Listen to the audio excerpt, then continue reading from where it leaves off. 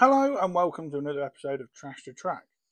In this episode, we're going to be looking at this Hornby HST power car that's been sent in to me by a chap called Ewan, who says it stopped running.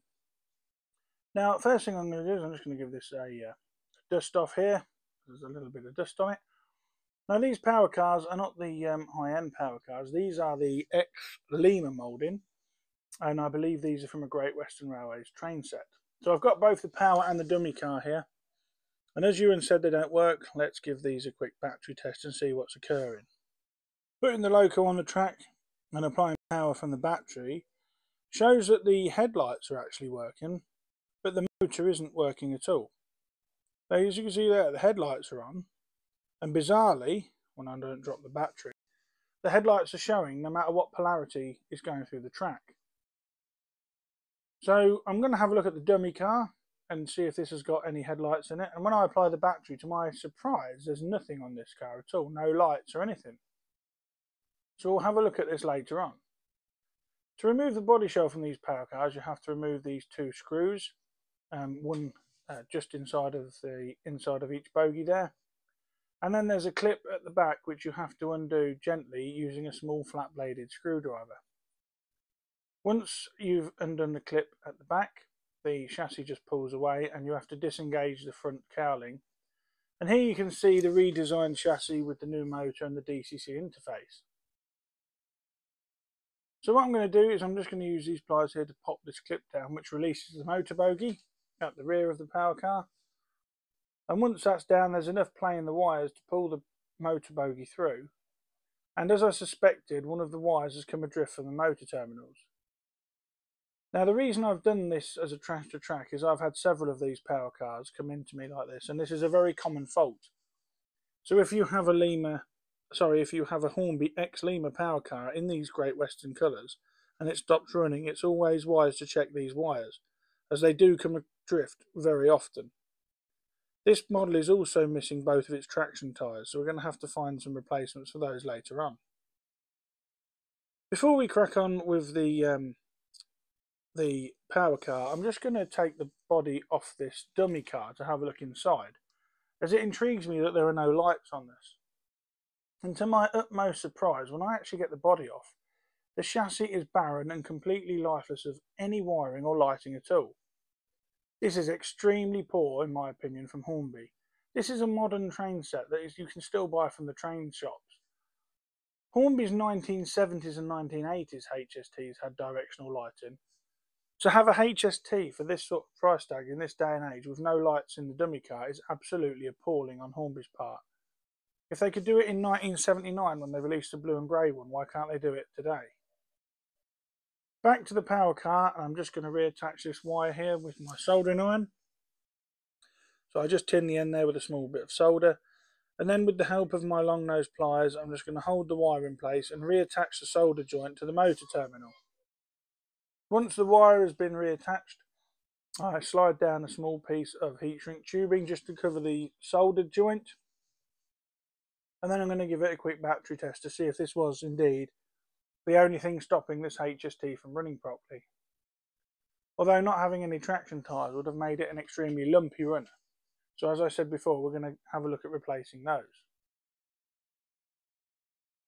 Now that that wire's in place, as I said, I'm going to slide this heat shrink tubing down.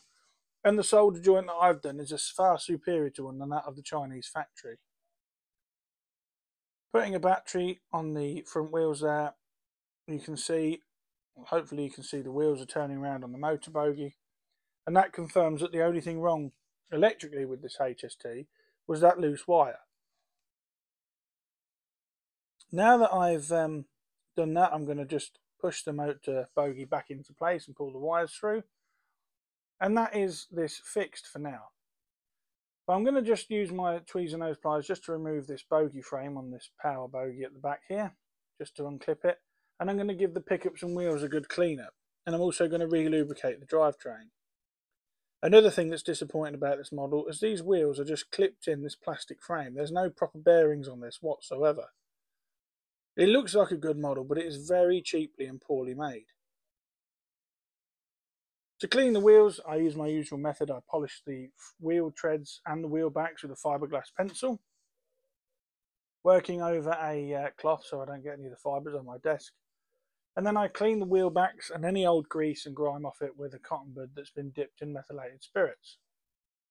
This brings the wheels up to a nice shine and gets any of the crud and dirt off them that has built up over the days it's been running on Ewan's layout. I'm just cleaning all the crap off the uh, wheels there. Also, while the wheels are out, as I said, I'm going to clean these uh, pickups to get any fluff and detritus off the pickups so that everything is clean and ensuring that it is good. It has got good electrical conductivity. There you can see a load of old uh, carpet fibres or hair that had been wrapped around that pickup. Using a cocktail stick I'm going to apply a small amount of grease to the drivetrain just to ensure that it's properly lubricated now that I've removed some of the old stuff with the cotton bud. And then holding the um, pickups in place with a pair of um, needle nose pliers and my fingers to make sure that they are correctly behind the wheels when I push them back in. The wheels are simply clip fitted back into the uh, plastic chassis. It really is bad that there aren't any proper bearings on this model. Here's some traction tyres that I've obtained um, for ex Lima models from Hornby. And I'm going to put these in place on the wheels by just, my method is I put them on my needle nose pliers like that slip one end over the bottom of the wheel and then just pull them up like that and then the traction tyres in place just making sure that it is in line correctly and is not twisted during application the traction tied wheels um, I've got pickups and I've heard a lot of people complain about this but as you'll see here traction tied wheels on modern stock does they do pick up quite a lot of electricity and they are well worthwhile in my opinion the bogie frame there just needs a simple dust over. It's not too bad uh, dirt wise, so I'm just going to give it a dust over with the old paintbrush. And then I'm going to clip this back into place and ensure that all the clips are lined up and then push it home with a satisfying snap. Now that is the chassis on this HST virtually done now. There's not much else left to do.